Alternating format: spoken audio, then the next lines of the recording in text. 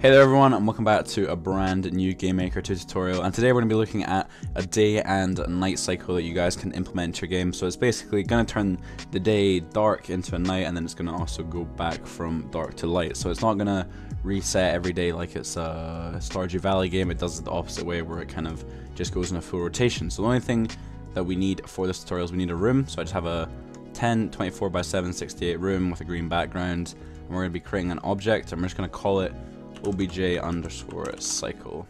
I think I, that's I think that's how you spell cycle. I'm not 100% sure, but we're gonna go with that one. So in the create event, we're gonna get our variables up. So we're gonna have the alpha to equal zero. So this is gonna be the alpha of basically the rectangle that we're gonna draw over the screen. We're gonna set the day to two. I'm gonna set the night to two. So this is basically like the amount of time um, that it stays in the day or the night, and then it's going to switch back um, in the alarm events that we're going to be setting up in a bit. And we're also going to set the color to C underscore black. And uh, another thing we need to do is we need to set alarm 0 to 60, and then GUI width equals display underscore get underscore GUI, and we're going to get width. I'm going to copy this paste it down below, change this to height, and we're going to move along and then also change this to height as well. And that is everything that we need uh, for the create event. So this is all to do with basically checking if we change it back to day or night.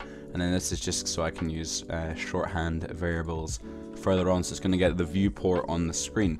So next thing we want to do is we want to go into alarm zero. And what we're going to do is we're going to do if alpha is lower than or equal to 0.95 because if we put it to 1 it's going to turn the screen completely black but we still want to be able to see our characters a little bit. We're going to do alpha plus equals 0.01 and you guys can change how fast you want it to transition from day to night and then we're also going to have alarm 0 to equal 1 as well. So it's basically just going to con continuously check um, this statement over and over again to make sure. So it's basically so we don't have to put in a step event. So we're just going to be using it within the alarm system, which makes it a bit easier. I'm going to do else if um, alpha is more than or equal to 0.95.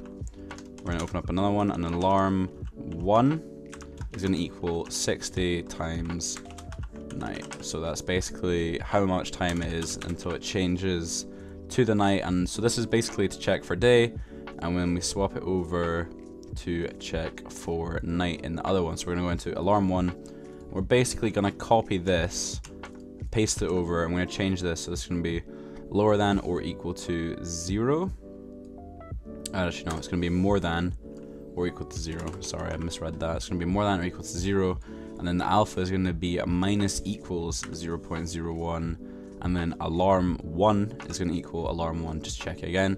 And else if is more less than, sorry, or equal to 0. So it checks if we're now below 0, we're going to do alarm 0 equals 60 times day. And then that's going to set that back to the day.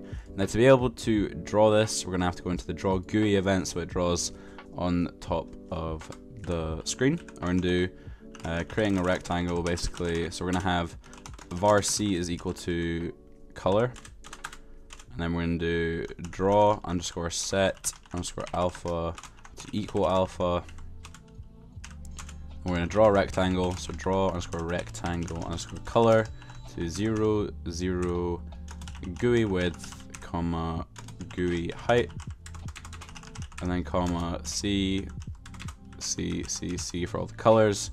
And then false because we don't want an outline on the rectangle. And then we're also going to set the alpha back to one.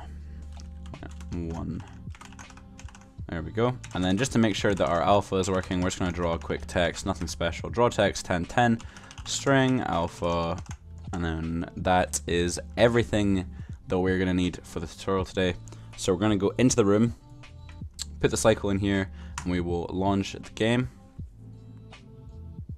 And bang, there we go. As you can see, it is sped up so much but it's turning from day to night slowly by taking away the image alpha and you can see the alpha up in the top left so this is at its uh, most dark and then at its most light and of course we can change the um, the stuff in the cycle to make sure that it works as well.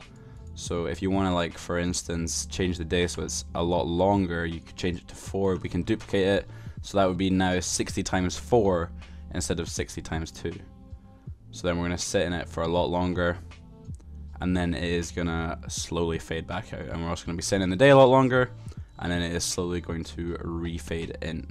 But yeah guys, that is the tutorial for today. I hope you guys enjoyed it. If you want to go and support my Patreon, make sure to go and click the link in the description. Also make sure to subscribe and leave a like. And I'll see you guys in the next one. Bye bye.